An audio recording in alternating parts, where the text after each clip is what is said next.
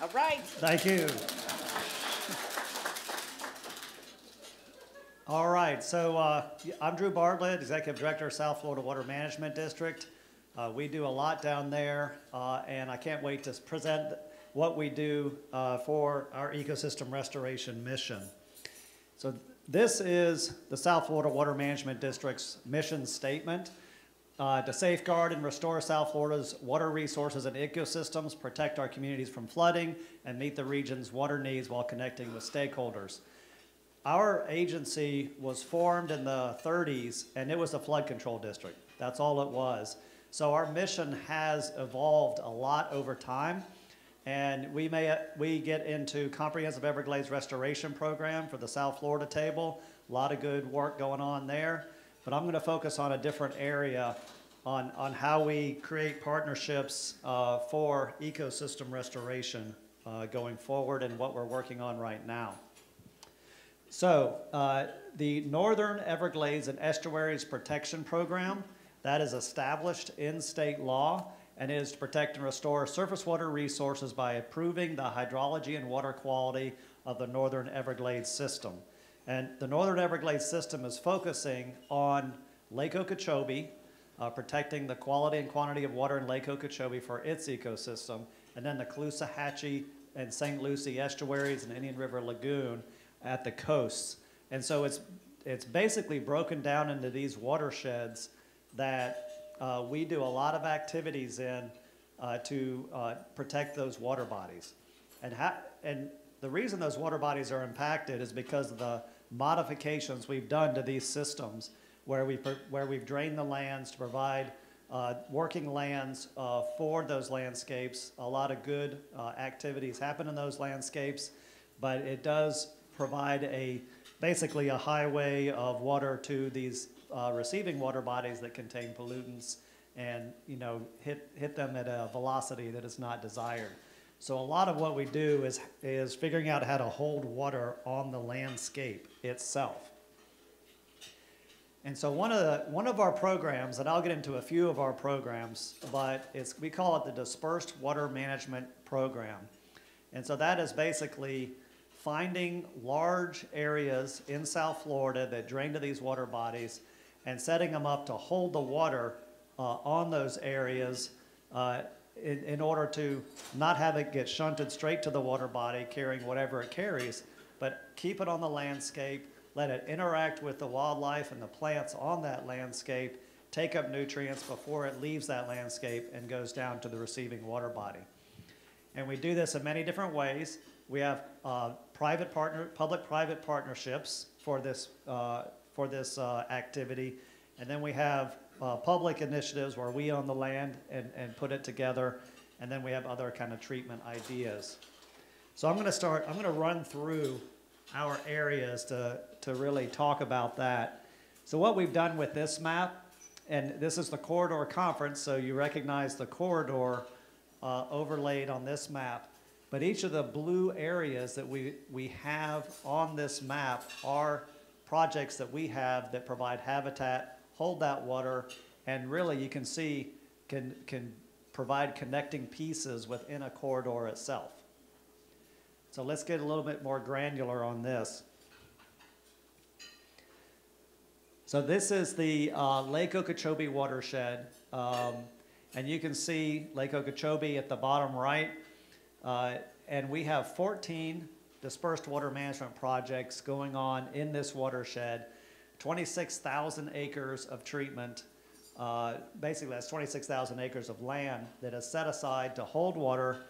Um, we speak in South Florida in acre feet. That's an acre of land with a foot of water on it. So we end up holding about 60,000 acre feet of water. Um, a foot in Lake Okeechobee is 400,000 acre feet. Uh, so it's and, and, then a lot of phosphorus gets removed, which is the pollutant of concern uh, for Lake Okeechobee. But that uh, 26,000 acres is a lot of habitat. And it creates a lot of habitat in these areas. So I'm going to talk about a few of these. So uh, Lykes, the brothers company, uh, owns West Waterhole. Now this is a smaller dispersed water management project, but it's a heck of a workhorse. And you can see basically the, the concept is uh, we will partner with Lykes Brothers. We will pay them for some capital. They will put basically uh, low, low-level berms uh, at critical points on their property to hold water back and with a control structure to release it, you know, when it's raining too much, right? So you end up with this kind of landscape, um, but we pay them uh, basically an annual payment. What they're doing is they're setting aside land that was otherwise in, being used for cattle grazing or crops or whatever it was. And we, instead of them using this land for that production, they're, they're partnering with us, or we'll give them a payment. It's usually around hundred to hundred and twenty-five dollars per acre foot of water that they can hold back on that land, uh, to keep it on the land and protect Lake Okeechobee. So that's the primary goal of it, protecting Lake Okeechobee, but it creates incredible habitat. And you talk with any of these landowners who've put together one of these projects, and they are astounded by what they see flock, literally flock, towards that project itself. Uh, this is Buck Island Ranch. Um, is Hillary in the audience? I think, thought I saw her. God, nope. All right, I'll get, I'll get you. Um, so Buck Island Ranch is a, uh, a working ranch. They do a lot of research on it, but they also hold water on that ranch. Um, and then really they've got scientists on staff that measure how much phosphorus is taken up, what's happening. There are cows grazing. Uh, it's a working ranch, and it is something that we partner with uh, routinely to do studies and research to figure out how we can hold water on land, have cattle grazing on land, and create a nutrient sink, if you will, for the protection of Lake Okeechobee. So it's another partnership. You can see it's in that Lake Okeechobee watershed as well. This is a, a big one. It's, uh, I think it's about 4,000 acres. This is Nicodemus Slough. It's on the west side. This is also a Lykes project. Uh, and it is, it basically takes water off of Lake Okeechobee. Let me figure out the size of this thing because it's big. I can't get to it fast enough. So it's, uh, it pulls water off of Lake Okeechobee and basically runs it across the, the ranch. You know, from this side through the ranch and then back to Lake Okeechobee if necessary, if it doesn't seep in. Um, an incredible spot on the landscape, uh, very incredible natural areas. And Lake Okeechobee has a phosphorus pollution problem, so pulling it off of, of Lake Okeechobee uh, and getting it back to Lake Okeechobee is the key for this, uh, this area of landscape, which again creates incredible habitat. So let's go over to the Caloosahatchee watershed. And so basically, when you have Lake Okeechobee in the middle, it can drain both east and west, and it, the Caloosahatchee watershed is connected to the lake right through the center diagonally of this map. Um, and then you have a few blue squares, and there we've got a couple of dispersed water management projects uh, that provide uh, almost 2,000 acre feet of storage. Uh, Lake Hicpochee, this is a district project. Um, this land used to be used for cattle and citrus, but it's a former lake bottom uh, that is now uh, getting protected for uh, basically for protection of the Caloosahatchee estuary. Phase one is online. You can see it in this picture, uh, creating this kind of habitat. Uh, we can pump water in from the, the uh, canal that goes to the Caloosahatchee estuary that protects the estuary up into the uh, storage area, and then it goes through a distribution canal uh, into the Lake Hicpochee itself, uh, which is like a marsh lake. Um, and then phase two, we're in design right now and should start construction next year. But that adds another 2,000 acres to that project. So it can capture a lot of water before it gets to the estuary, put it across the landscape, uh, and make it more natural. Again, th- these kind of acreage that we create these projects for really have a great habitat uh, component, uh, and it really helps with endangered species, quite frankly. Uh, we, every time we build one of these, the snail kite population really comes to it. It's, it's pretty impressive. Uh, this is what we call the BOMA facility. That's also on that canal that goes to Caloosahatchee Estuary.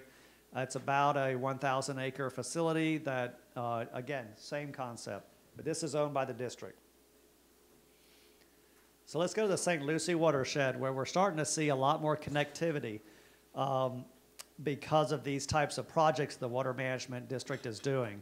And you can see on this map those shaded areas uh, down towards the bottom, uh, the blue, the bluish areas. That's a combination of comprehensive Everglades restoration, northern Everglades restoration, and, and uh, dispersed water management. So there are these different funding streams that we get that we can use those funding streams to create this kind of habitat connectivity. A number of those are comprehensive Everglades restoration. One of them is dispersed water management.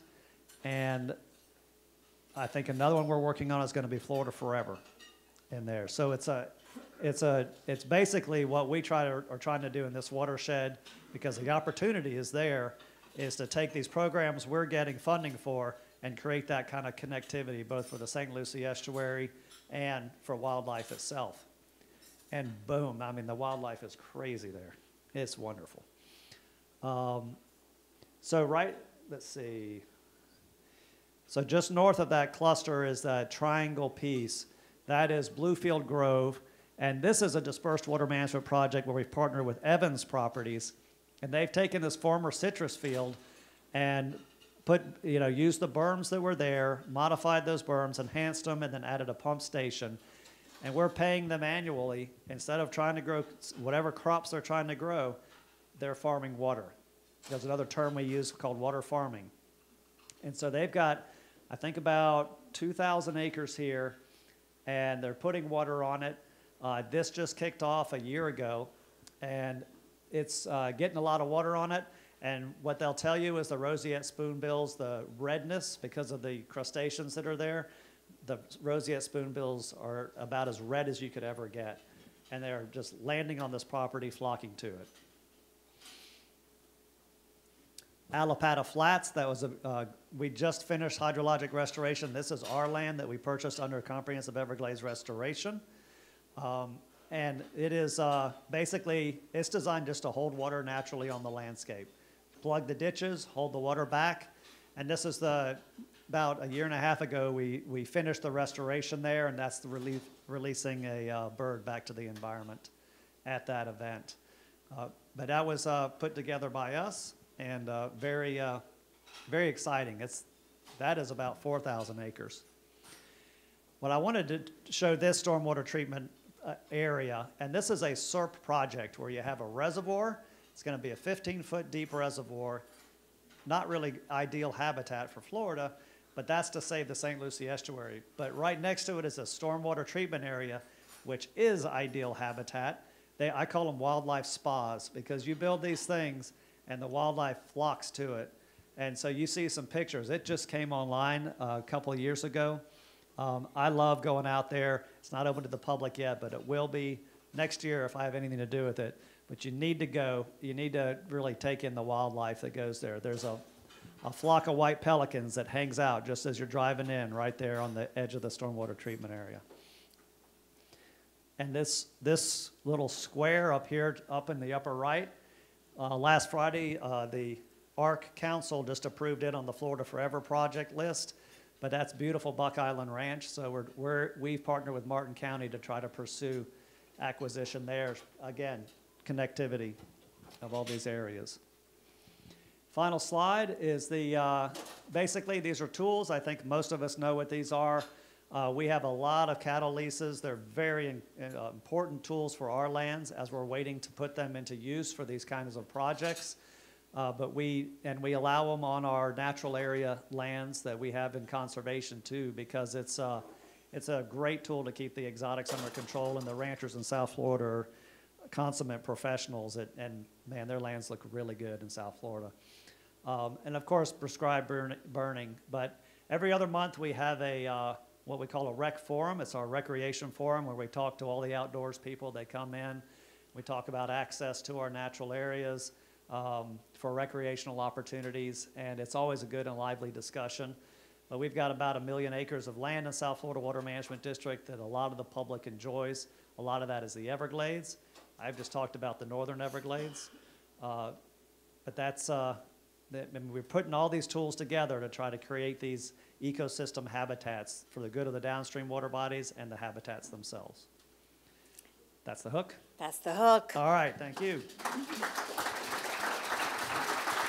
Thank you, Drew. Realize you had a lot of content to try to fit into uh, 10 minutes. So amazing work there within your water management district. So, um, if you'll start coming up, this is Katasha Cornwell. She's with the Florida Department of Transportation, and her focus is going to be creating imper- impervious services, impervious services.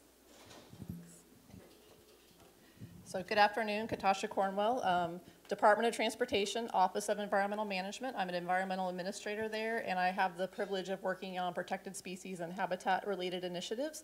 So today, I wanted to briefly touch on some of the things that we're doing uh, with regard to enhancing our environmental screening tool, so that uh, where we're building um, kind of a geospatial database to um, help us look at wildlife corridor solutions potentially.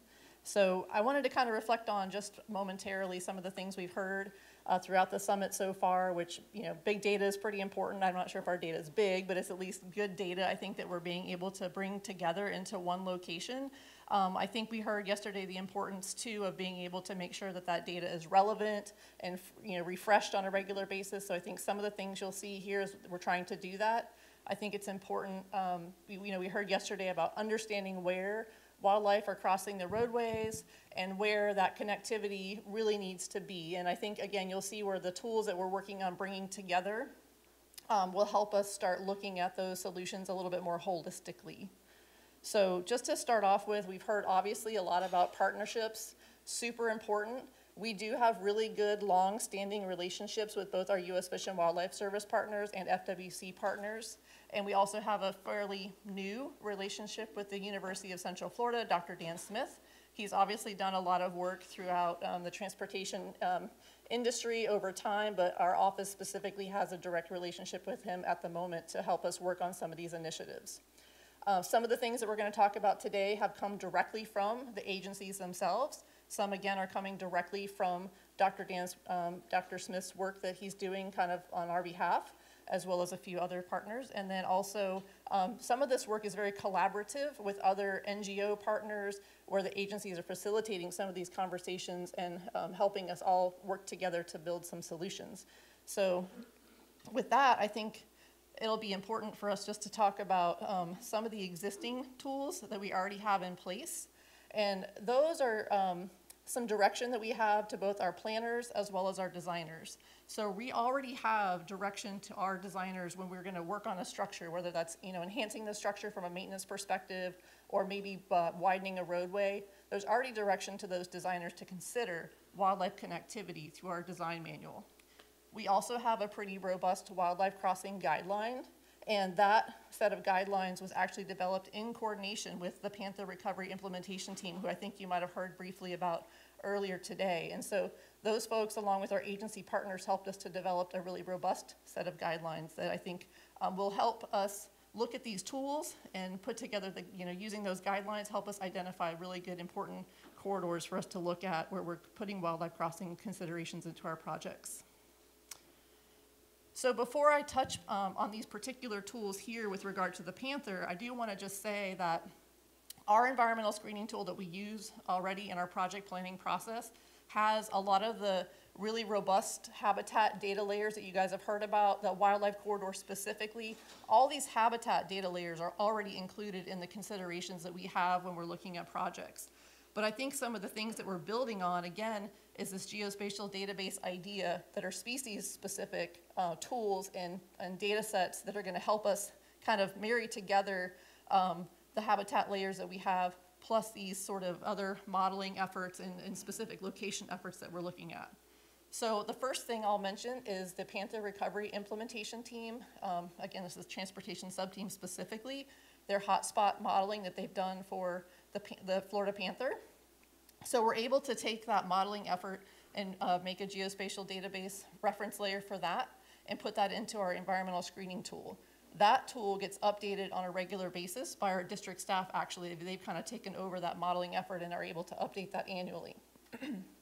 We also, of course, all are concerned about I-4 and that permeability and understanding as those panthers continue moving northward, that that's going to be an area that we really all need to focus on together to find good solutions there. So that's also going to be part of our geospatial database. So it's not all just about panthers, right? Bears are pretty important as well. And so FWC has provided us a number of different tools. Some of those include um, data layers that are already existing, like where we have existing barrier crossing signs. But they also have other areas that they've looked at where maybe just adding some fencing at an existing structure would really help potentially reduce that wildlife uh, collision, uh, up, you know, areas that are kind of um, important for us to try to reduce those, those locations. And so we've also got some information, and that's mostly in the panhandle area. So I know someone also said that it's not all about South Florida, and we agree. We're trying to kind of have a more holistic statewide approach. Um, but so those fencing opportunities are mostly in North Florida, but statewide, FWC has also looked at some pinch point data for the bears specifically. So again, as we have projects coming through those areas where there may be pinch points, we can kind of um, identify those locations as well as potential opportunities. So those again are some of our existing tools. And so now I want to focus maybe on some more tools that I call are under construction. So they're uh, about to come online relatively soon. The first is our least cost pathways tool, and I say ours, but I really mean the Panther Recovery Implementation Team, which we're a part of. So again, Dr. Smith, pretty important player in this uh, whole thing, but he has spent some time doing some really robust modeling, and I'm not going to pretend to understand all the modeling. I'm not a modeler myself, but he's taken um, both wildlife vehicle collision data, uh, telemetry data from panthers, um, looking at habitat layers, looking at existing structures, and really looked at how likely the panther is to cross from one location to another um, through these least cost pathways. So least cost to the panther as it's moving through the landscape, and how is the panther most likely to travel? So I think as you see, as we start building upon these layers, so looking at the you know hot spots that we already have, looking at adding these least cost pathways into our geodatabase, as well as some of the other tools that we'll talk about, they're going to start building on top of each other. So we have a more robust uh, planning set of tools to help us identify where those next opportunities are. Another thing that Dr. Smith is doing uh, for DOT specifically is looking at hotspots statewide that don't just focus again on that panther and bear sort of um, iconic set of species. They're really looking at um, other large animals as well. Those sort of data are based on wildlife vehicle collisions again, so he can look at crash reports and other things to kind of glean some more about where those hotspots are. He's also looking at um, small animals, so I think that's really important. That's not an area that we've always had the opportunity to focus on.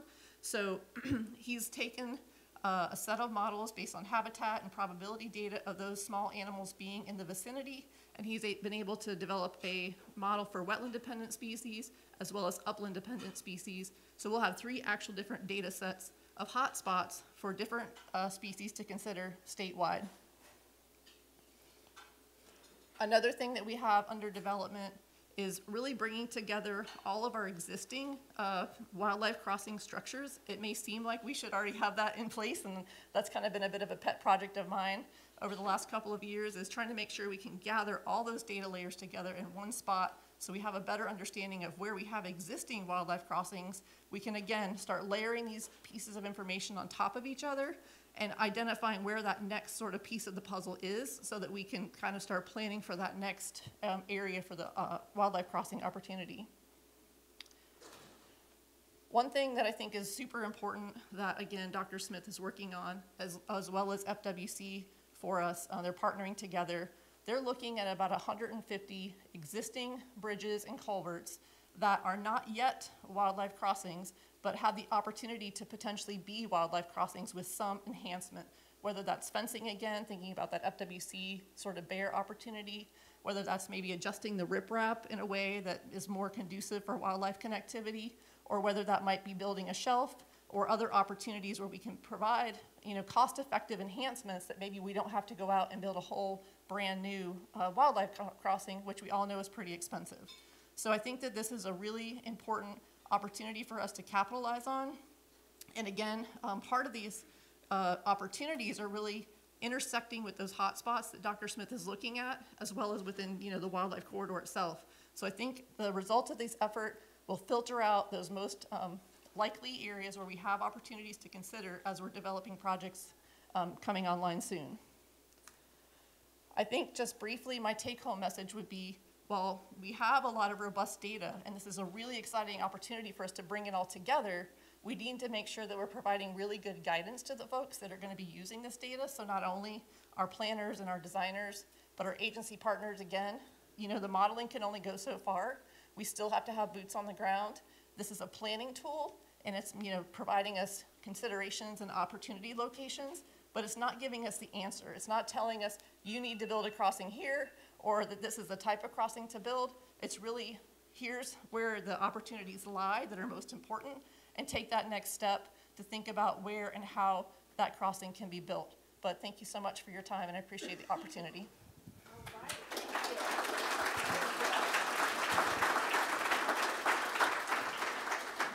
Thank you. It's really nice to see the Florida Department of Transportation as a partner, and we're grateful for your commitment to wildlife crossing. So thank you for being here. So next, continuing with our tools and approaches with our local, regional, and state level uh, partners, we have the U.S. Fish and Wildlife to talk to us about tools and approaches. So Bob Carey, come forward, please. And I'll push to your next slide so you're ready. Thank you very much. See if I can make this work. All Thanks right. very much. Yeah. Do you want me to push your buttons for you? No, I think I can do it. I get people pushing my buttons all the time. Get them taken care of on my own. Um, Yeah, hi, everyone. My name's Bob Carey. Um, I'm the Division Manager for Environmental Review for Florida. Um, We recently consolidated to one Florida office, so I'm currently stationed in Gainesville. Uh, My family's lived in the Florida area for about 30 years in Tampa. Um, I moved here about eight months ago from Northern California. So I've been with the Fish and Wildlife Service for about 12 years. Prior to that, I worked in the private sector. I worked as both a consultant, as a timberland manager in Northern California. Um, So I want to talk a little bit today about uh, conservation planning tools. And I'm going to focus primarily on Section 10 of uh, the Endangered Species Act. So the Endangered Species Act 1973 was, didn't include any sort of authorization for incidental take for private landowners, only for federal agencies under Section 7. So they amended the act, uh, 78 or 82, I don't remember exactly when, but it basically revised the Endangered Species Act to provide some opportunities for private landowners or non-federal entities to receive incidental take authorization um, under a couple of different options. Um, At the time, it was only one option. Those, those options have increased over time. Um, And now uh, habitat conservation plans are are probably the one that people are most familiar with. We also have um, safe harbor agreements, uh, a little bit different, as well as candidate conservation agreements with assurances. Um, There are others, uh, but these are, these are uh, the most common ones, and the ones I want to talk today about. And I think this might be the same red cockaded woodpecker, Thomas, you had in your slides, so I'm not sure who hijacked whose photo. I probably just pulled it off the internet, but it may not be the exact same one. Um, Let's see. So going right along. Um, kind of the differences between the different types of agreements. Habitat conservation plans generally allow for incidental take uh, for projects that can't avoid impacts to listed species. Um, The standard there is to minimize and mitigate to the extent, to the maximum extent practicable. Uh, But they're really agreements that are entered into with um, folks that really have to do their job and they can't afford or can't avoid um, impacts to listed species. There's not always a bright line between these agreements, but um, we're working on that. This, this has been a- an issue for years, and there's times when the different kinds of agreements mix, and it's a little bit hard to distinguish one from the other. Safe harbor agreements are used in general um, when conservation actions that are being applied incidentally take some listed species. Um, The kind of classic example is a frog pond, you know, and there's a listed frog there. We want to make the, the pond bigger to improve the capacity of the frog to produce, uh, the pond to produce frogs. But knowing that, we're going to put a heavy equipment in that pond to make it bigger. And we're probably going to run over some frogs. ultimately, we're improving the situation for frogs, um, so we were able to authorize incidental take under that kind of an agreement. Candidate conservation agreements with assurances, this is part of the uh, services um, no surprises policy, the same time that that came out. And it said if people were doing good things for species that weren't listed at the time, but maybe listed in the future, that we wouldn't hold that against them. It's kind of a no good deed goes unpunished type of scenario where the standard at the time was the actions that were taken by the applicant should be um, commensurate with the ability to avoid listing. So it was basically a recovery standard. That's been changed to some degree right now, and it's really focusing on um, what's called a net conservation benefit. I can do that, sorry. I apologize if you can't hear me. I can try to talk louder too. Um, So I'm going to talk a little bit about the benefits of safe harbor agreements. Um, You know, why would a landowner want to do this? Uh, Basically, they receive assurances that additional land use restrictions won't be applied if a species shows up on their property or their actions in, um, draw species into their, into their areas. Um, And basically, it's, uh, if they're doing things that are improving the habitat, we're, we're not going to hold that against them. Uh, Participating landowners receive a permit that authorizes incidental take if um, that results from their normal activities. And with safe harbor agreements in general, the property owner has the ability to return the property to the baseline that, which consisted when the agreement was entered. Um, Sometimes these are zero baseline situations where we know the habitat isn't currently occupied, they're gonna do something that makes it more attractive to wildlife. Uh, The species shows up, and now we have to take it back down to the, to the baseline um, due to our management activities, and, you know, that's frankly okay. Um, And I've got some wolf pictures up here, because I want to talk a little bit about Northern California and wolves, and an example that um, I wanted to share with y'all. Um, You know, what kind of things need to be done under a safe harbor agreement? You know, if the habitat's in good shape and the species are using it, and you're doing good things, maybe you don't have to do anything else at all. Uh, and we're, we're willing to enter into those kind of agreements as long as you maintain those activities that are favorable to the species that we're trying to manage for. Um, let's see, what else I got? Times, at times, there have been species that have been re- reintroduced under these type of agreements. For example, um, Fisher in northwestern California had been extirpated from that part of the state. The habitat was in good shape. It was a timber company that owned it. Uh, they helped us fund some research, decided, hey, you know, we've got some fishers in uh, British Columbia and, and uh, Oregon and Washington, and we can bring them down and reintroduce them in California. And that was actually a very successful exercise. Um, it was complicated, but it, it ended up working out. Um, those kind of things help the service because it helps us monitor uh, the responses of various species to different management actions. Um, and then if habitat needs to be improved, we try to develop specific things that can be done um, to address the problems that are facing species. For example, forest management, grazing, et cetera, some of the common land uses that I think, um, you know, are applicable in this kind of conservation scenario. Bigger tools, uh, larger group tools. This is a northern spotted owl uh, statewide safe harbor agreement that I was working on with the California Department of Forestry and Fire Protection prior to leaving the state. Uh, basically, it's large timber landowners that uh, agreed to manage their land in a certain way.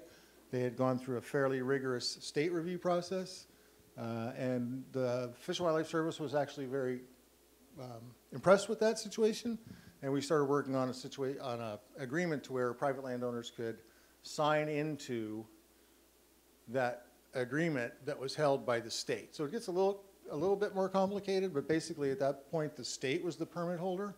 Private landowners could sign up. The state would issue them what's called a certificate of inclusion, and they would be, also be covered. So I'm just gonna keep moving on. So this was the example that I wanted to share with you guys today. Um, This is a Butte Creek Ranch. It was a safe harbor agreement that our office did, uh, probably starting in around 2013 or so. Um, This is a 3,400 acre cattle ranch in Northern California near Mount Shasta. Um, It was under a conservation easement with the Pacific Forest Trust. It was an easement in perpetuity. Um, Part of the, our California Department of uh, Fish and Wildlife helped write some of the management objectives for that plan and that, that agreement. Um, it was too high for northern spotted owls. Northern spotted owls don't typically nest above about 6,000 feet. This, this property is above 6,000 feet. But with climate change happening, we don't know where owls are going to end up. You know, snow levels are coming down and uh, things are warming up and vegetation is changing.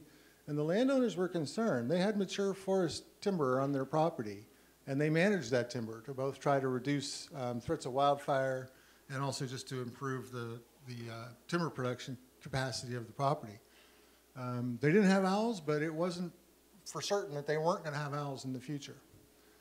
And then around 2012, and folks might have heard the famous wolf that had come in from Oregon, OR7. I don't know, that was kind of big news where I lived. Um, it was a wolf that had been banded, uh, collared rather, in Oregon and began a dispersal pattern, migration pattern, came down into California, milled around for a little bit. It was the first wolf documented in California since 1924. Um, that wolf bounced around a little bit between Northern California and Southern Oregon. Um, ended up reproducing in Oregon. That, that pair did. Um, but a few years later, 2015, some wolves started being detected, uncollared wolves started being detected in California. Um, and they set up shop right on the Butte Creek Ranch, probably within a half a mile. Um, and this is a cattle ranch, and the cattle ranchers were a little bit nervous about that. Uh, never been done in California before. This was the first time people had faced this situation in a long, long time. Uh, a lot of public um, concern, I suppose.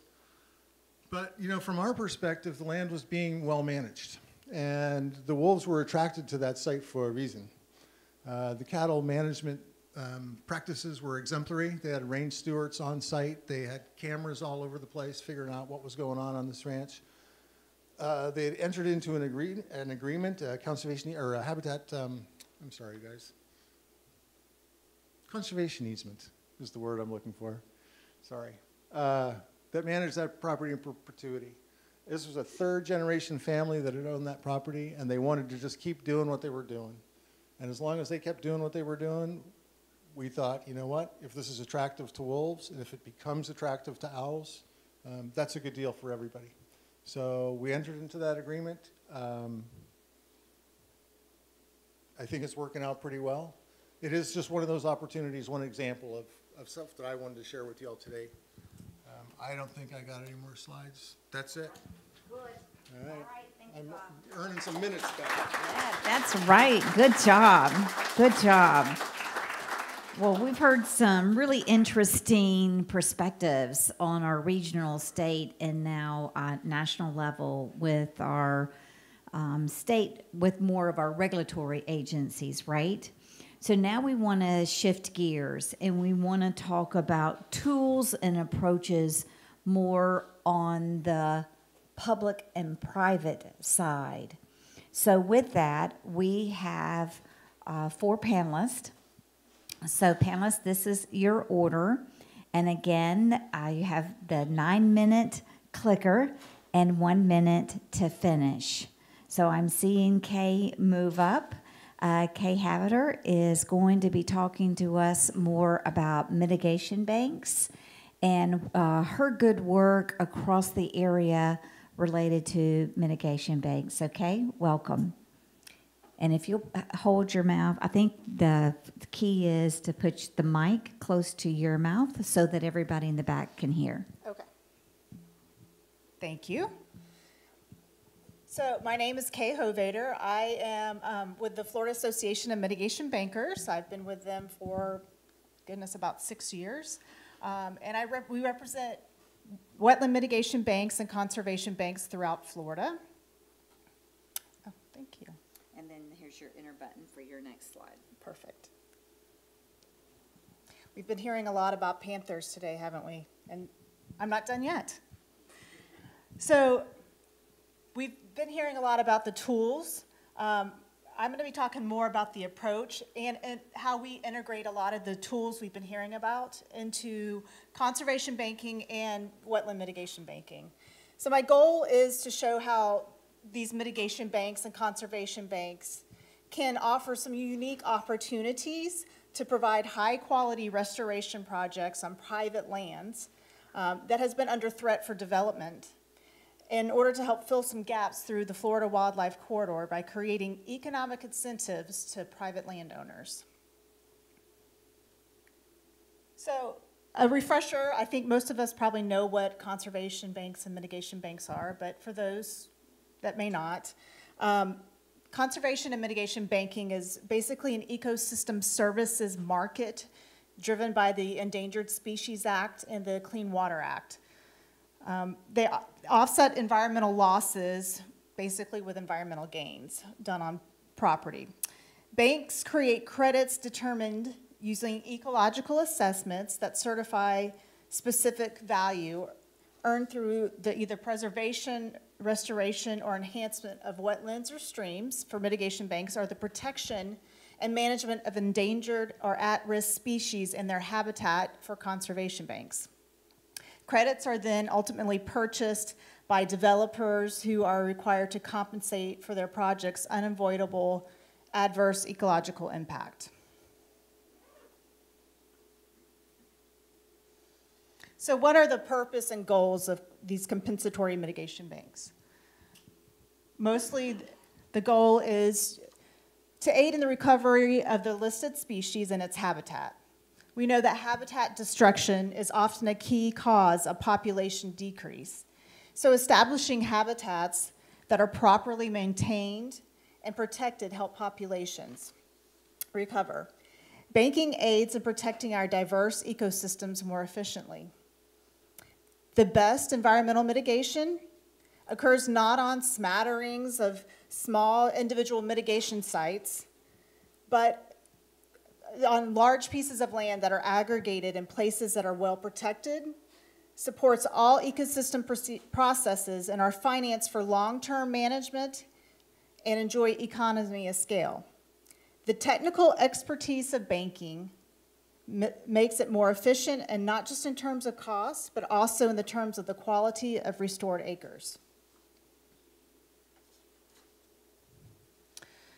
So what are some critical elements of conservation and mitigation banks? Successful banks are highly regulated areas approved for their location, often next to already conserved areas, their large size, long-term protection, and financial strength. Whether publicly or pri- privately owned, they are equally regulated by environmental agencies. They provide benefits in advance of the impacts they offset and are only approved to offset impacts after they have pr- been proven successful. Banks must be protected in perpetuity and advance funded for long-term management. So, so while there are some positives I've highlighted, being heavily regulated comes with a lot of challenges.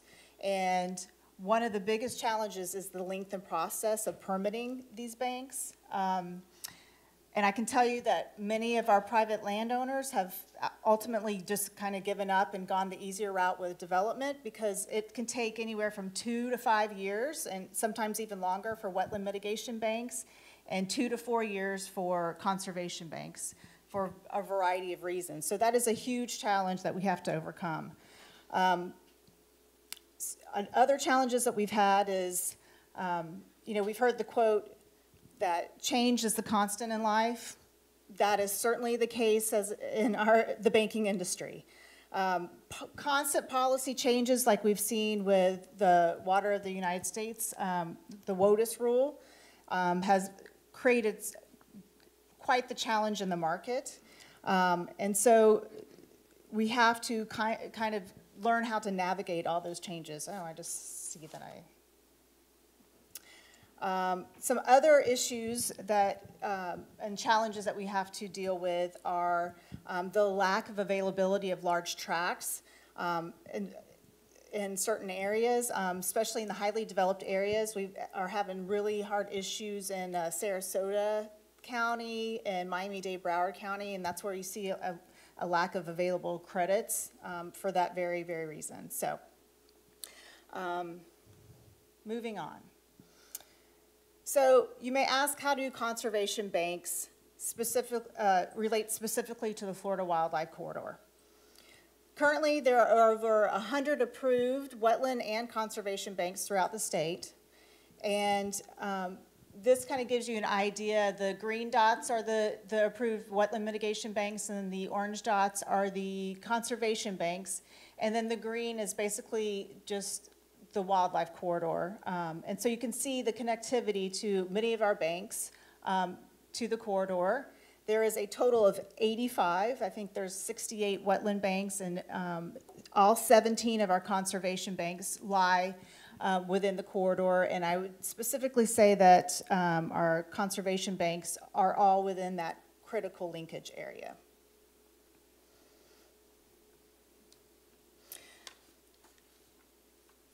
So basically, this is, this is why banks play a role in the Florida Wildlife Corridor. We utilize the Florida Ecological Greenways Network data layer um, to play a part in scoping for new bank sites as we move along. So we could be more strategic in identifying property that will help fill the gaps in the corridor. So I'm going to spend the last couple of minutes just highlighting some, some mitigation and conservation banks that have done such a thing. This one is one of our favorites, Lake Livingston. It is a conservation bank, a sand skink conservation bank, and a um, wetland mitigation bank. Um, it is in, on the Lake Wales Ridge in Polk County. You will notice that the um, wetland mitigation bank is outlined in the blue area, um, and the sand skink conservation bank is kind of on the outskirts on the red. And um, it, that, this, these banks together create a link between the west and east side of US Highway 27. Um, confirmed this morning, DOT does plan on creating, um, there are a, a project in, in the works to widen US 27 in this area and plans on creating a wildlife crossing, which we heard Katasha talking about earlier um, in this area. Uh, yes. So that will help with uh, creating the link as well.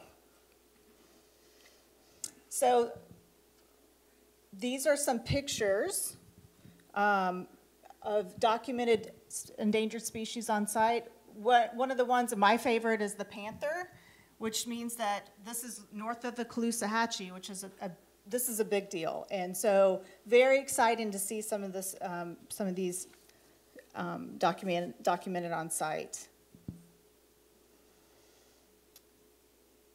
The next we see is, we, we I'm going to highlight a couple uh, panther conservation banks. Um, the first one is the Panther Passage Conservation Bank, which is located on 4,000 acres. It is this really light green, kind of rectangular shape at the top. Um, you will notice its connectivity to um, conserved areas all around. Um, not only that, but it is also in the critical linkage area of the wildlife corridor and um, is located within the panther dispersal zone.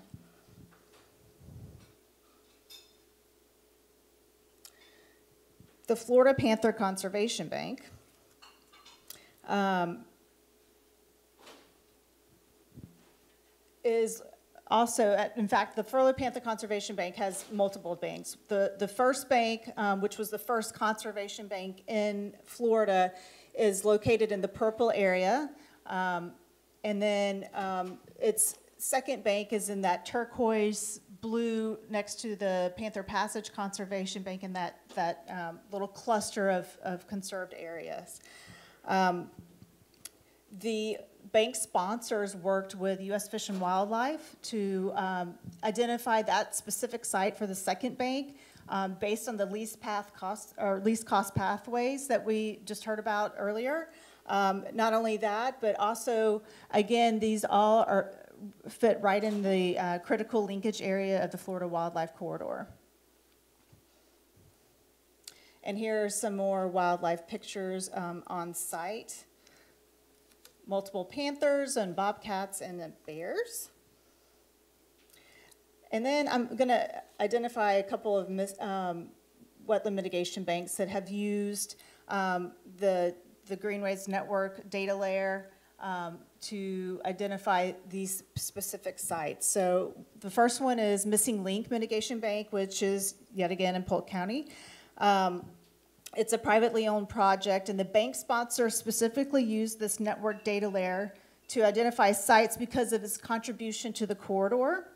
The entire site was under imminent threat for low-density residential development, as had occurred on sites immediately um, adjacent to it. So uh, the site is the missing link, hence its name, um, between two large conservation areas and was targeted for acquisition as an essential parcel remaining in the Florida Forever project, um, referred to the Green Swamp Hilochee corridor. And then the last one is, oops, my favorite, Chassahowitzka Mitigation Bank, um, which is um, actually in Hernando County.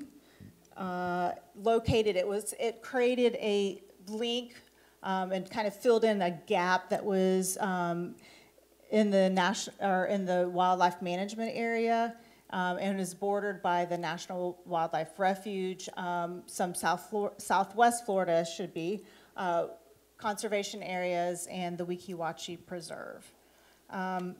So basically, what's my takeaway out of all of this?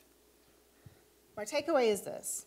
Banks can create a financial incentive, and a, a pretty nice financial incentive, for con, uh, conservation and can provide a unique opportunity to engage the private landowners by allowing them to maximize their land value.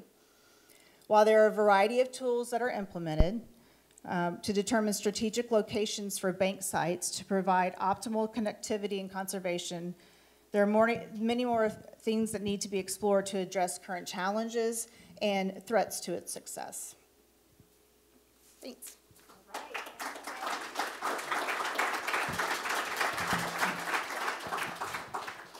Very, I mean, my mind is just moving so fast, isn't yours?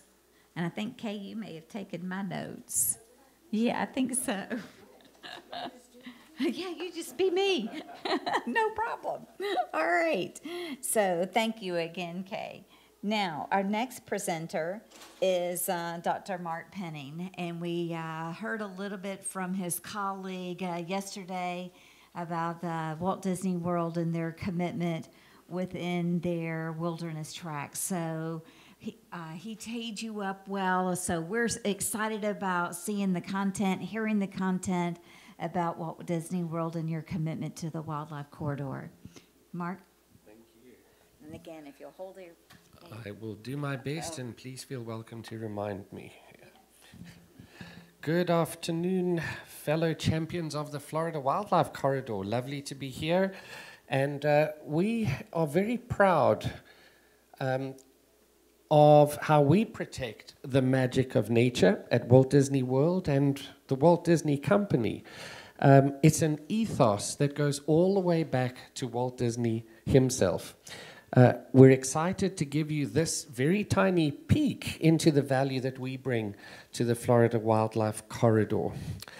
And, you know, we have to contextualize it, right? This is a very interesting slide from the East Central Florida Regional Planning Council back in 2019. And it is rather disturbing, isn't it? Um, it shows Central Florida growth from 1974 on the left hand side. Uh, through to today and into the future in that that pink uh, color, whatever that is called. Um, uh, is it mauve? I'm not sure. Uh, but that shows future projected growth. And what it's estimating is that population growth and development uh, is going to reduce undeveloped habitat in this area by up to 340 miles and increase water consumption by up to 70% by 2050. So, just some of the stark realities that we are facing. And right in the middle there is Walt Disney World, which, of course, is situated just around the corner from where you're sitting right now. What's also right here is the uh, headwaters of Reedy Creek. It's a watershed that runs 11 miles southwards through undeveloped habitat and it empties into Lake Russell at the Nature Conservancy's Disney Wilderness Preserve. From there, the waters feed Lake Okeechobee and ultimately the Everglades. So, whatever management actions we take at Walt Disney World, uh, well, those impact on um, not just connectivity of habitat, but think about water quality over this vast and interconnected landscape of people and wildlife. Looking closely at uh, Walt Disney World, um, a little bit closer up, you get to see immediately that dark green uh, uh, area of uh, protected space. It's quite literally the green spine, isn't it, that runs through Walt Disney World. It is undeveloped land and will remain so in perpetuity. Uh, which I'm very pleased to say. But of course, we ask ourselves, what can we do not just with that land, but look at the adjacent lands that are developed or mixed use land, and how can we contribute to the corridor with those as well? Uh, yesterday, my esteemed partner and colleague, Dr. Jason Fisher, shared with you uh, you know, that our undeveloped lands are, of course, the ideal, and uh, he showed you the importance of 8,000 acres that uh, um, we have preserved at Walt Disney World. It's about one third of our property that is uh, protected in perpetuity. But what do we do with those mixed lands and the developed areas? Well, one of the earliest examples uh, is a system of canals on Disney property. Uh, canals that obviously provide a habitat for aquatic species um, to a large extent, but perhaps more importantly, they ensure that water from our torrential downpours that we experience pretty much every afternoon through the summer can move right through our property and still feed into the Reedy Creek watershed.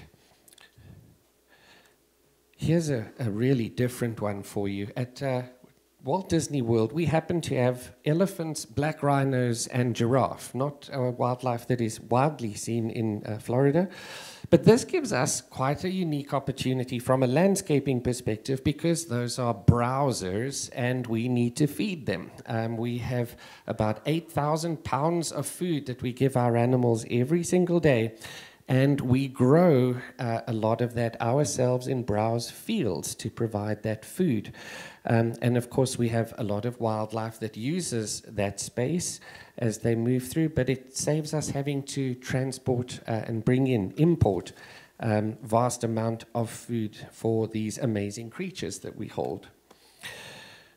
Wherever um, we need some, uh, shall we say, aesthetic landscaping um, throughout our, our resorts, we like to leverage pollinator gardens um, to do just that. Uh, pollinator gardens give wonderful habitat for, for uh, pollinating species, but they also give our guests a really intimate connection with nature during their stay at Walt Disney World. We've got pollinator gardens throughout the resort, and our Disney Conservation Team Wildlife uh, surveys those on a regular basis to look at pollinator diversity and abundance.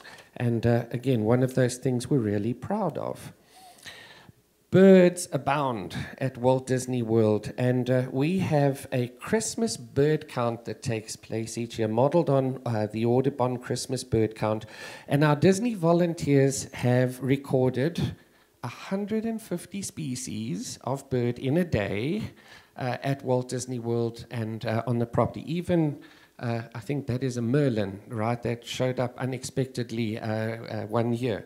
But I thought that was pretty impressive. And of course, many of these species are overwintering or migratory species, and uh, they're relying on habitats in both the undeveloped land and the mixed use landscapes.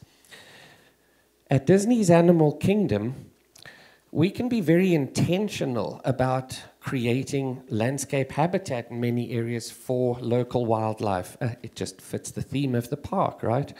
Our horticultural team creates these wonderful green spaces, and we have seen over 173 bird species uh, at Disney's Animal Kingdom. Um, which again, you know, that's excluding any of our Disney Animal Kingdom birds. Um, and these birds, again, think of all the additional reptiles, amphibians, and insects that make their home there as well. Besides providing that important habitat, just think of how Disney's Animal Kingdom gives us opportunities to share stories with our guests. We have millions of guests that come through the park every single year, and we do our utmost to inspire them to care about nature. We create magical wildlife experiences for them every single day. We also have golf courses, four of them.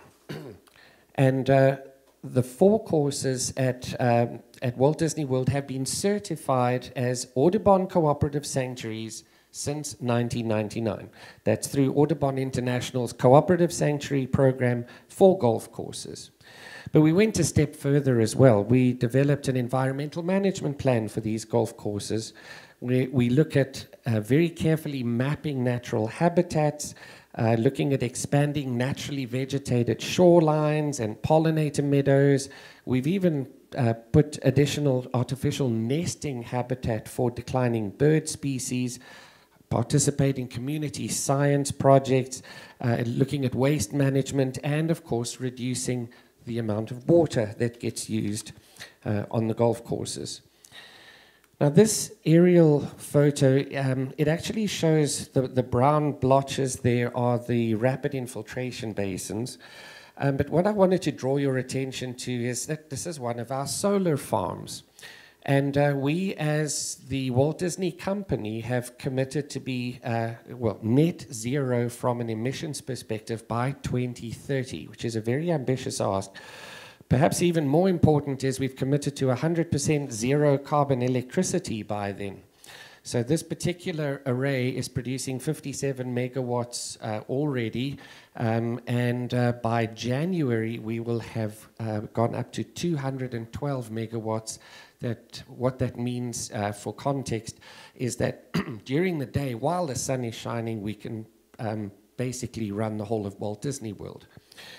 Now, we had to ask ourselves, you know, when you build um, a, a, an array like that, there are species of plant that you want to move out of the way. We did that first. But just think about it why can't it be pollinator habitat as well? So, what we did is uh, we experimented with a range of uh, seed mixes to provide great pollinator habitat as well as maximizing the energy output of those arrays. So we've already documented more than 40 species of pollinator, uh, including our state butterfly, which, for those who don't know, is the zebra longwing, but also monarch butterflies and a variety of uh, bees and such like that, um, that you just wouldn't believe it unless you went and saw it yourself. And then very quickly, just from mitigation banking perspective, I won't go into this right now because we're on nine minutes, but we have the Mira-Lago site that is just about uh, 20 miles away, uh, right uh, immediately adjacent to the um, Disney Wilderness Preserve. Um, I will stop at that. So, what I would like to finish off with is, uh, is to share that our Disney Conservation Fund, uh, on top of this work happening on our property, has already directed more than $120 million to field conservation projects around the world. And we're so proud of that. Our team who manages that program is sitting right over there. Well done, team. Um, on top of that, just picture what's possible when all of us work together to protect the magic of nature.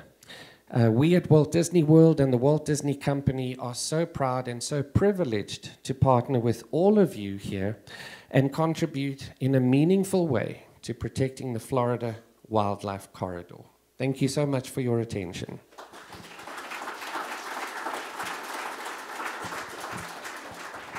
Mark, thank you. What an amazing example how large businesses can still make money, be profitable, be but also be mindful of our wildlife and uh, the ecologies in which you own property. So, thank you for your commitment in being with us today. So, next we have up, affectionately known as Farmer D. Uh, Daron Joffe is going to be coming here and talking to us about agra hoods. And for that, that was a new term for me. So, uh, Dr. Farmer D, I'm excited about your work and uh, for the group to learn more about it. Thank you, Lynn. Um, I can't wait to tell my kids that I got to follow the Disney guy from the Animal Kingdom. So cool. Um, little intimidating. Follow Disney, but I'm excited to be here. Um, thanks for having me.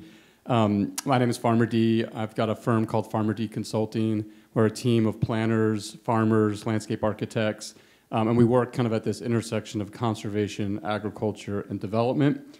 Um, I'm going to share with you, we, we've been really fortunate over the last, I got into this through farming and then kind of got into landscape architecture and then got into this really interesting work that um, called agri-hoods, which we call kind of farm conservation communities. Um, I got an opportunity a few years ago to help support a national effort to study agri-hoods, and we were, created a, a co-authored a report called Agri-hoods, Cultivating Best Practices um, with the Urban Land Institute. It's a new and emerging, it's a very old idea. It's about as old as it gets, right? We lived in villages on the land, but it's a new idea getting some traction in the real estate world. Um, and it's, um, we've been fortunate to work with a lot of developers and a lot of private landowners as farmers are transitioning their land and they're in the path of development. And more recently, a lot of work with counties and cities getting the opportunity to look at a more regional scale um, which is really exciting. And one of the great things about um, being a part of this effort is how we can bridge kind of preserving agricultural land, um, conservation land, and still meet the need for housing, right? We know development is, is, is a necessary thing, so how do we do it in a way that can help um, kind of protect those things? Oops, sorry, I thought I was on that slide. So the intersection that I talked about of conservation, agriculture, and village um, really, what, what this talk in you know 10 minutes I'm going to try to touch on is kind of our philosophy and principles about how we approach this idea of agri-hoods. There's a big spectrum of, of agri-hoods from you know very suburban developments that incorporate a farm or a garden to really true conservation communities. And we kind of work in that spectrum and try to really promote more of the conservation-oriented approach to planning. Um, and so, you know, obviously the, the goal when we, in our approach is we start with kind of an ecological analysis and really look at where are the most sensitive areas naturally, the wetlands, the, the, the watershed, the habitat, the forest, the prime farmland. Um, we really study that and understand kind of what is most important to protect and preserve and work our way back into then how do we cluster development to minimize the impact on those natural and agricultural assets and maximize the integration and benefit that people can have with those areas. Um, and that's where kind of the activation of the farm and the natural areas comes in play. So I'm going to share a couple of the principles that come with this work. Um, this is just an example of um, kind of a concept of clustering development in order to preserve the, uh, the, the, the natural areas and the farm. It's a real project outside of Atlanta. It's 20 years old now um, that we've been involved in since the beginning. And the main components are conservation first, pedestrian priority, right? We've designed everything around the car. And so we really want to think about that, flip that upside down and think about how do you design for pedestrian priority, minimize the impact of the car, um, and maximize the opportunities for conservation. And then really thinking about integrated workplaces. You know, how do we really think about people reducing the trips and traffic in and out and creating more of a vibrant local economy and places for people to work in community, on the land, um, on the farm, in the natural environment, education, et cetera, um, makers and such.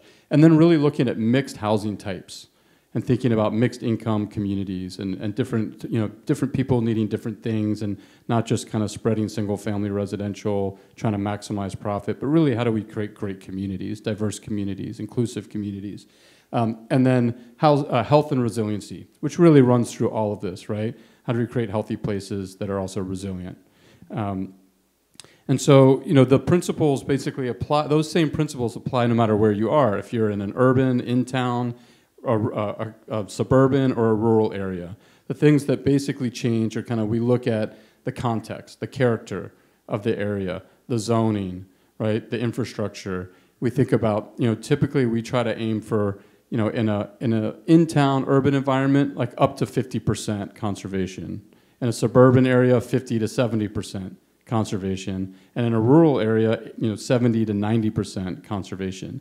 And when we think about conservation, we're thinking about not conservation of things that already can't be developed, but conservation of the buildable area. So those percentages we typically try to apply to, you know, how much of this is, is actually buildable. Let's protect those percentages of that potential buildable land. And the main tool is, is clustering development. But really, you know, typically planning often happens from an engineering kind of maximizing how much you can put on the land and you spread things out. And, know, what we're kind of reverse engineering, not starting with engineering um, and how much can you kind of, how much development can we maximize, but how much conservation can we maximize, right? And how can we reduce the development footprint to the smallest possible opportunity and still create a great place to live. Um, and so some of the lifestyle benefits from a community perspective is you can work where you live, creating those workplaces and, and, and also places for people to shop um, and, and get their services in the community, um, mixed housing, different types of housing for different types of people, economic, all types of different um, age, you know, making it intergenerational and inclusive, providing community services, walkability and bikeability. We love this um, concept that we've kind of developed, we call an ag meander, and it's really looking at kind of trail connectivity and integrating nature, agriculture, and places to, to gather um, and connect. And so we kind of look at this larger context of um, how to create walkability and bikeability. And education, you know, I've been hearing this theme throughout the whole conference. It's so important, right, that people really understand the value of conservation. And they see the, the benefits um, and of, of local food and, and um, farming. The one thing I didn't really get into in the beginning, but it ties into conservation, is this idea of green space connectivity. Green belts are kind of you know something we've talked about. Agricultural connectivity, you know, this ties to wildlife, to watershed, to um, you know, not fragmenting our, our, our farms and our own open spaces. So when you can think about things at a regional scale and kind of work your way into well, where does development really even make sense in this region, and how can we? I, I live in an area now. Um, it's kind of an interesting story. I came full circle. I started a farm in a place called Serenbe 20 years ago. It's one of the early projects I worked on south of Atlanta. And after being all over the country and living out west and escaping the fires, ending up at Disney World with my, my kids as a, a, a, congratulations, you just survived six months in an RV during COVID, homeschooling. While we were looking for where to move, um, we ended up across the street from Serenbe again, to, um, and seeing it now 20 years later, it's really developed. And we're working in the whole, the whole region around Serenbe is called the Chattahoochee Hills. And it's a 40,000 acre region. And the zoning overlay is 70% conservation villages and hamlets.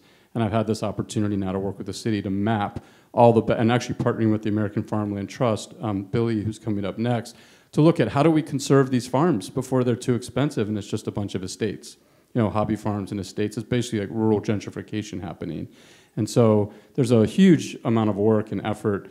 Um, could talk at length about the strategies for that. But this is the most important toolkit, I think, is conservation development. You know, these agri-hoods, but really through a lens of conservation, watershed health, restoration, regenerative ag, biodiversity, and community involvement. And my, my favorite part is the farm activation. Um, I wrote a book in 2014 called Citizen Farmers. And I'd always envisioned kind of building some kind of a movement around it because we're all farming by proxy.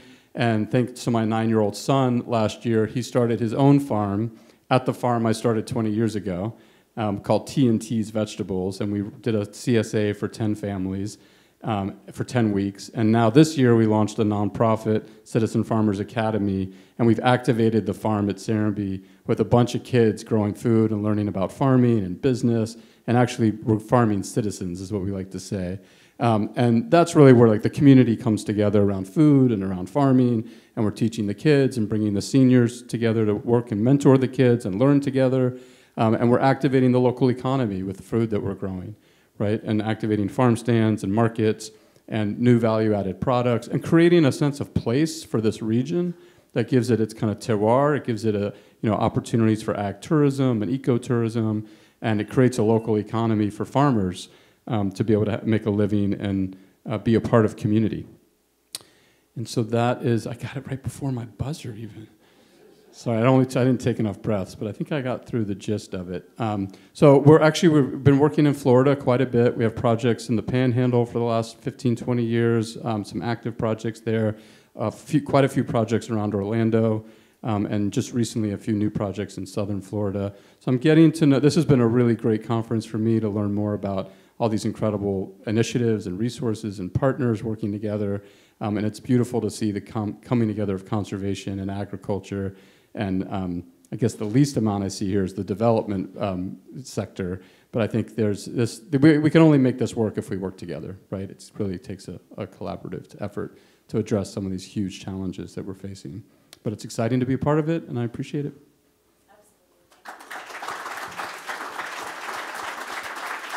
How would you like to be in a room with Dr. D and Tony from yesterday? Think about the energy, the power, the knowledge, the entrepreneurship, and the big thinking uh, between these gentlemen that we have heard today and tomorrow, yesterday and today, I should say. But thank you. But you gave a good tee up to Billy Van Pelt. He is going to be talking about now the agriculture lands and had an opportunity to have a Zoom conference call in, in advance of this and just the awe dropping work that Billy and his de- team is doing. I know you're going to be excited about what he says. So, Billy, if you'll come back up and uh, talk about your great work. Thank you, Lynn. First, let me say that I'm truly honored and grateful to have been invited to be here with you all today. And it's really me saying wow for all the work that you all are doing here in Florida. Um, I've been coming here for the last, about the last six years since I started with American Farmland Trust, and I met with Mallory for the first time about five years ago. And yesterday was the first time I heard all of these data points in the same room at the same time. So congratulations. You all are doing great work here. American Farmland Trust, for those of you that don't know, um, we are the um, we're the uh, national nonprofit, the only one that approaches agriculture holistically. We're 41 years old. We were started by Peggy Rockefeller, who was on the board of the Nature Conservancy. And over the last 41 years, we have worked with partners to permanently protect nearly 7 million acres of land and another 300 million through sound farming practices. Before I go any further, I'll say that we are a land trust, but it's really less than 5% of what we do. And we don't go into areas where there are existing land trust entities or boots on the ground because we don't want to hold easements where there are existing resources and manpower. So I just want to make sure I'm very clear on that point up front. We do hold easements, but only in places where there aren't, there's not another viable option. We're based in Washington, D.C., and we have seven regional offices around the country, and I'm one of 150 employees nationwide, and about half of our employees work remotely, and I'm one of those. I'm based out of our Louisville, Kentucky office, and um, I work across the Southeast and Texas, as Daron said. Um, we work together some, and I'll be at Serenbe next week. So, some of our past accomplishments talking about farms under threat um, is the report that came out in May of 18, which was a national look backward. We lost 11 million acres between 01 and 16, which is 2,000 acres a day, to development. Our most recent report, the second phase, was released in May of 20 and this is a state by state analysis of policy and spatial analyses, every state in the continental US. I have the spatial analysis for Florida for everyone in this room if you want a copy at 11 by 17. So the third phase of this project is what I'm talking about today, and this is county level data. And specific to uh, the wildlife corridor, we know that there is wildlife corridor on ag lands across the U.S. And that's what we're mapping as part of this third phase of county level data. And let me say that our microsite for this project is farmland.org backslash farms under threat. You can go there. And we are able to, through a confidentiality agreement with the NRCS, we have um, access to data uh, and we have we are mapping all of the remaining productive, versatile, and resilient soils in the U.S., and that's part of this data. So this third phase focuses on wildlife habitat and connectivity corridors um, in Florida and around the country. These are some of the species that we're focused on in some of this county level work.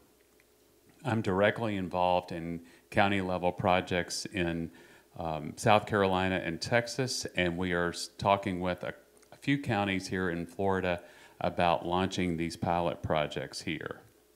So some of the deliverables from this work will be to model development threats through 2040 and climate threats through 2040 and 2060, offering policy solutions and inspiring and guiding actions as a national organization, and to produce two distinct but linked analysis and reports.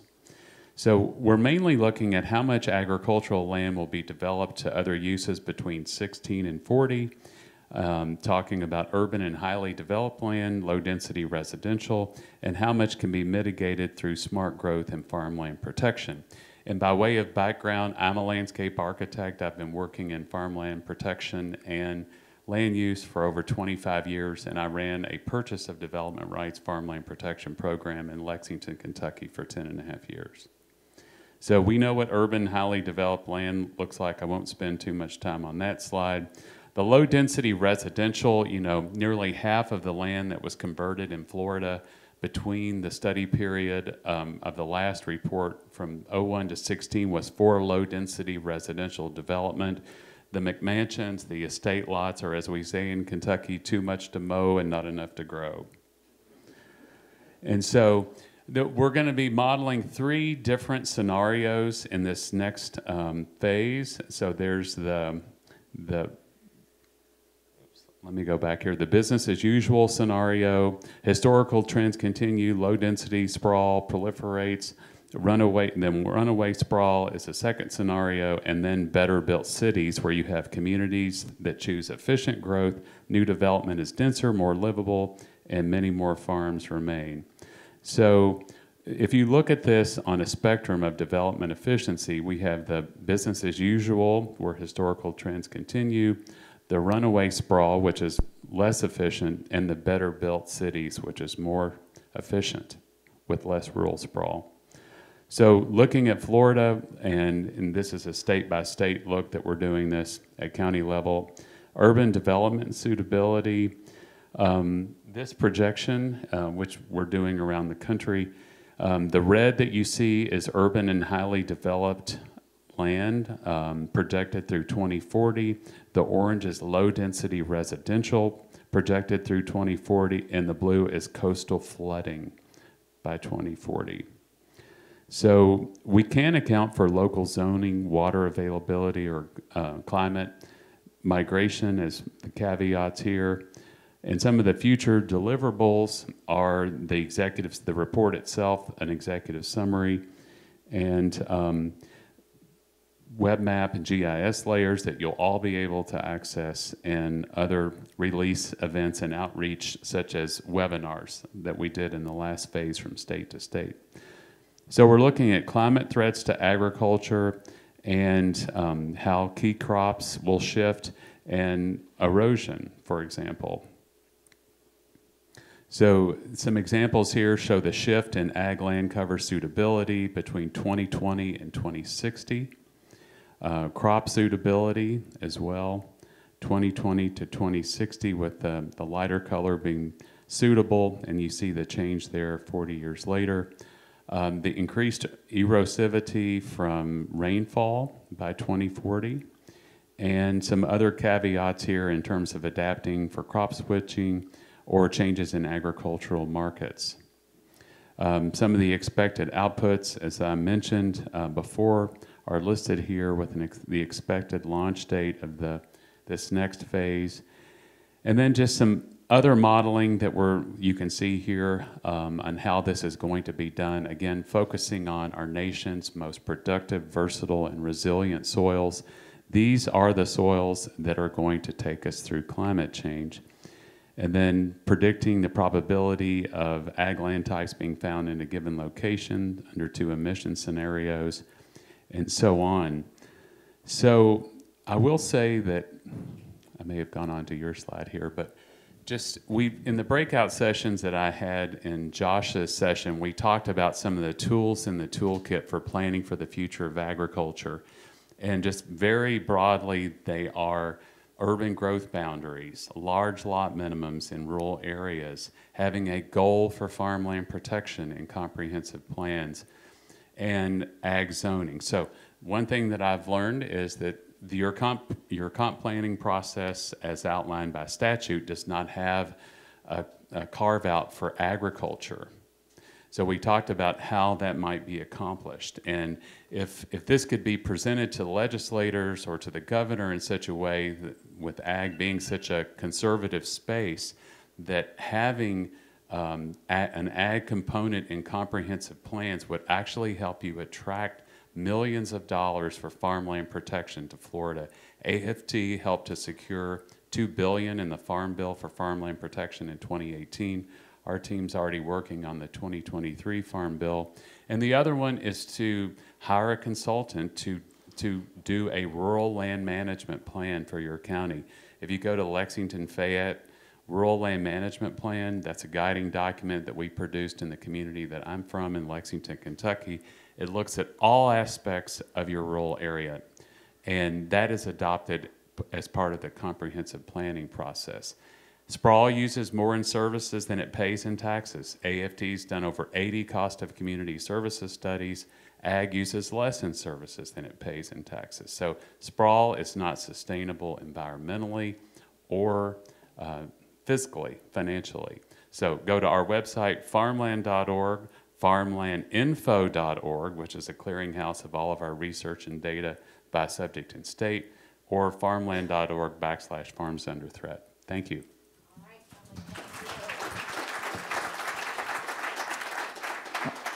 Well, I can imagine we've got lots of questions. So I'm going to ask my fellow board member that I see just right here, Gage, and somebody's left their cell phone up here. Um, so I'll leave it where I'm sitting. Billy, is that yours? Gage, if you'll tag with me, this is our opportunity for question and answer. I'm going to give you this microphone. And as people raise their hand, if you'll go come up, I'll stay up here. So this is your opportunity. We've got about five minutes with this because we really did run out of time.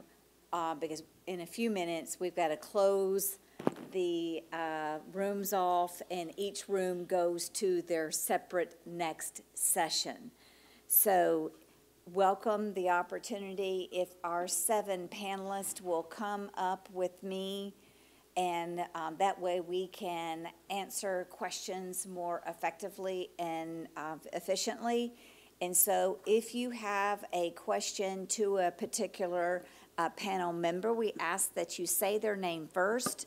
So I'll step away from the mic and they can step to the mic and Gage. If you'll just kind of work the room, you're going to be Oprah for us and, um, and, and go to where the individual is that is asking the question. So if you have a question now for one of our panel members, we welcome you to raise your hand. Gage will find you, and then again, if you'll say who the question is for, so they can move up here to answer the question. Any questions?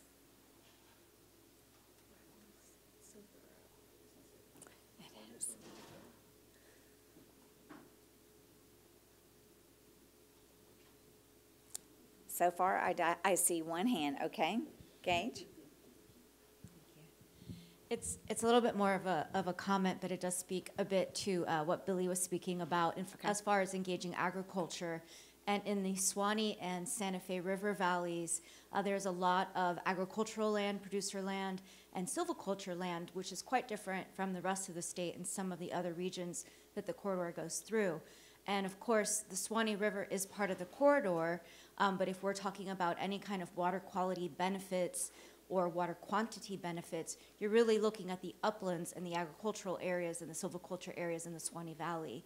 And so uh, the Santa Fe River is not part of the wildlife corridor right now. Um, I think that there's been a lot of discussion around that.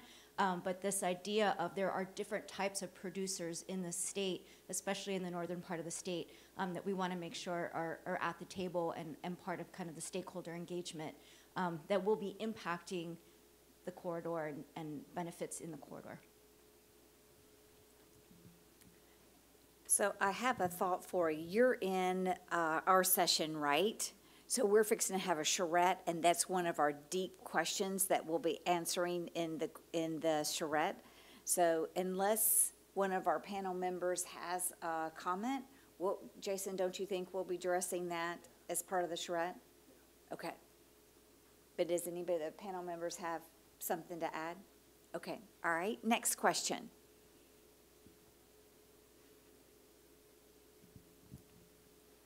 Yes, Um, I just, it was more of a comment, and, Farmer D, you, you you talked about developers are not represented here. I think we've got to start including developers in conservation and make it an ethos to, to start developing correctly. Uh, because if, if we don't, include you know, development's gonna come, and we've got to include them. And I appreciate your comment. come to the mic. Lynn, could I just kind of respond to that? Sure. I'll say that you're exactly right. Um, when we, uh, when American Farmland Trust helped launch the Purchase of Development Rights Program in Lexington, Kentucky, it's a quasi-governmental nonprofit corporation, and it has a board of directors, and that board includes a realtor, a builder, a convention and visitors bureau, a chamber person, and also, but also farmers and neighborhood folks and so forth. But you're exactly right. If the development community is not at the table, um, they're going to feel alienated by the conversation. And the other part of it is we're protecting these places because it's a quality of life issue. The corridor is a quality of life issue. It's a statewide, macro level quality of life issue.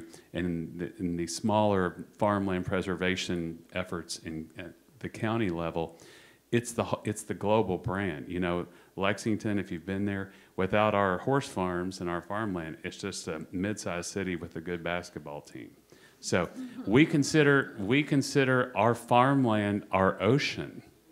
I mean, that's what we, we consider our farmland our ocean, and that's why it's important to have the developers at the table. Just to add one, one comment to that, I mean, I th- I noticed this morning in the McKinsey presentation, there was a mention of that the, the real estate value broadly was not factored into the, you know, thirty billion dollar value that the corridor presents. And it would be really interesting to figure out how you can put a number on it, because so many of the developments we work with, the value, you know, if you look at just the spreadsheets of the farm and the community, and, you know, it's hard to justify, you know, investing in a, in a, in a farm, but the value that it brings to the bottom line of the overall project is huge, right? So when you start to see that people want to move to these places and they will pay more, and there's a premium that comes across, pr- and that you just scale that up to a, you know, to a, a county, a region, a state, you can really see some huge real estate um, values. And how do we, how does that get measured, and how does that get invested back into these conservation and farm efforts? You know, it's a big question. Okay, now I have a question for you in the audience. Have you heard all of our representatives, whether it was from a governmental entity or more the private sector, and you heard their tools, you heard about their approaches, do you have examples of tools and approaches that you could add to the conversation? And if so, raise your hand and Gage will find you. And if you'll give us your ideas of missing tools that we should be thinking about, we'd like to hear about those now.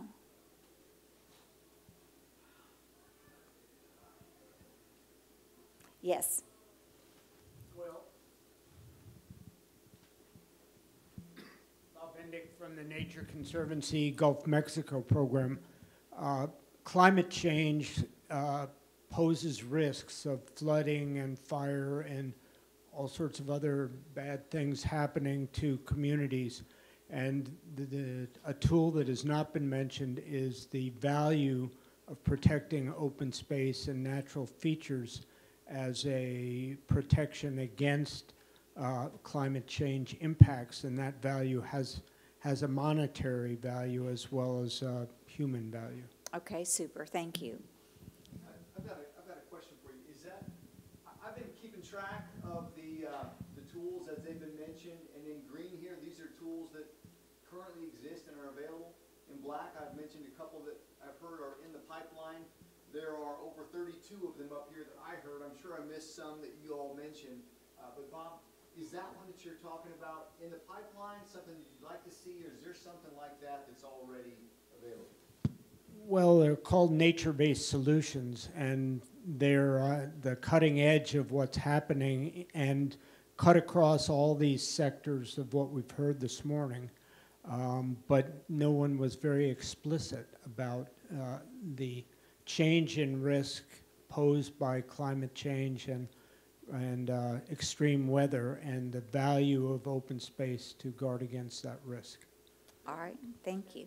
Any other tools, approaches that you see missing and hasn't been part of our conversation yet? Uh, Dale Schwalls with the Florida Floodplain Managers Association. And to bounce off what was just said, um, there's currently a program. Uh, 468 of the 478 communities in Florida are in the National Flood Insurance Program to manage their flood risk. 244 of them are in the Community Rating System program, which provides discounted flood insurance to residents for communities doing higher standards. And one of the primary functions for gaining credit in that program is preserving open space in the floodplain and quantifying that in uh, combined greenway areas and habitat connectivity. Uh, so there's an existing framework in that with 244 of the communities in Florida, and they get they already have regulatory authority, community engagement support for those activities. So if we can connect that activity, which uh, is often uh, NOAA Digital Coast has a tool to map that open area and to quantify that. If we can connect that activity to this group and can um, provide that connection there, especially in our um, under-resourced communities, where a lot of that land is, is up for grabs because it's not mapped floodplain. There's no regulations in place. There's no staff to pursue anything outside of the regulatory framework. Um, so we can connect those dots. We have a tool ready to go. All right, so say that name again and how we can find more information about it. Um, it is the Community Rating System, CRS program, Okay, and it's Activity 420. Activity 420. 20, which is open space credit. All right, Jason, you got that? I think so. Okay. Catch it out. Yes, sir. All right, I see another hand raised. Thank you. Uh, Buck McLaughlin, the Range Operations Officer at Avon Park Air Force Range. I'm actually speaking on behalf of the Central Florida Regional Planning Council that I believe did a session earlier today in the in the science track. They are have initiated a pilot project to look at zoning and permitting as a way from a planning perspective to assess the developability, if that's the right word, of a particular parcel and how long or how far along in the process of, of getting those requirements in place if you were going to develop it, what, what stage that is. And I, I think that's going to be a, a really good tool to assess the potential for development on a particular property and how far along that particular landowner has gone in that process. And that's under the Central Florida Regional Planning Council? That, that's correct. Okay, Jason, you got that? All right, time for one more.